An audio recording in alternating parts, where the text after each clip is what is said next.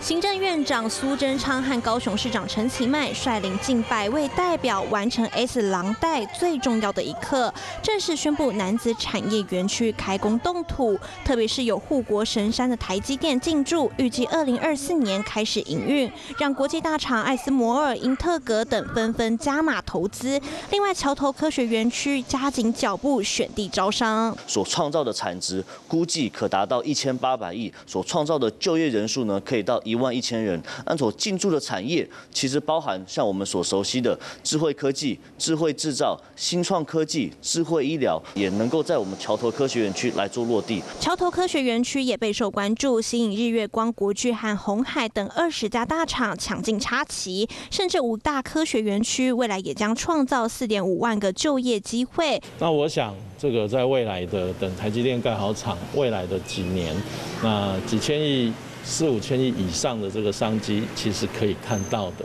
以后可以做成这个上中下游半导体整个群聚效应，把它整个发挥起来，哈，变成像。